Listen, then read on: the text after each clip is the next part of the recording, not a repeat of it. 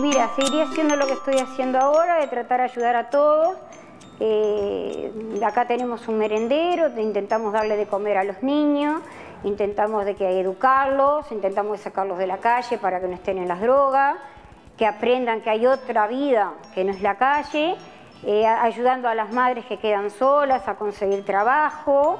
y estamos dando cursos y explicándole que la vida no es aferrarse a un hombre y que de ahí no salen, este, sino que pueden salir por ellas mismas, levantarles la autoestima, porque por lo general los hombres que las golpean les hacen creer que ellas no valen nada. Acá se les está enseñando que sí, que son gente inteligente, que ellas pueden por sí solas,